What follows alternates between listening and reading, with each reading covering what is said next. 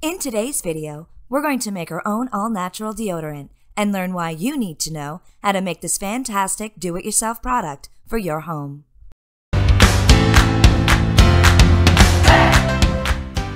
Please like, share, and subscribe. Why make your own?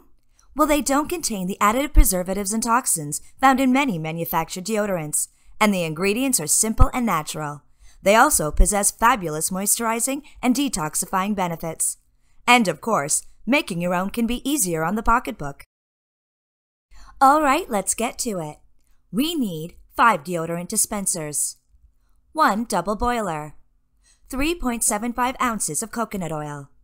Coconut oil is deeply moisturizing and can soothe skin ailments such as eczema and psoriasis.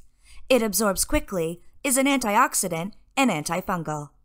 3.75 ounces of shea butter. Shea butter is also a deep moisturizer and supports inflammation reduction.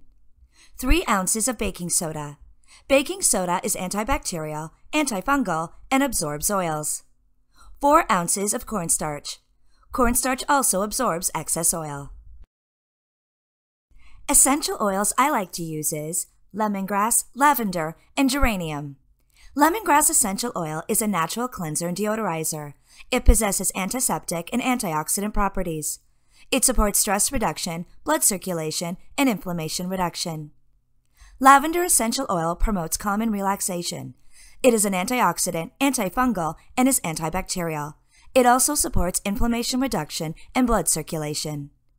Geranium essential oil promotes hormone balances, mental function, and improved blood circulation. It supports inflammation reduction and can alleviate the effects of menopause. It's also antibacterial and a natural deodorant. Melt shea butter and coconut oil in a double boiler. Add baking soda and cornstarch and mix well. Let mixture cool and stir occasionally. Then add lemongrass, lavender, and geranium essential oils and mix well. Allow mixture to thicken, then add to your deodorant dispenser. Make sure you stir well before you pour into the dispenser. Put in freezer immediately for 30 minutes, then place in fridge. And it's just that easy. Here's the recipe if you'd like a screenshot. Store deodorants in the fridge. I recommend storing the deodorant in use in the fridge for in-between applications. Thanks for watching! And remember, subscribe, comment, and ring that bell for more wellness content at The Essential Journey, restoring the mind, body, and home with the power of nature.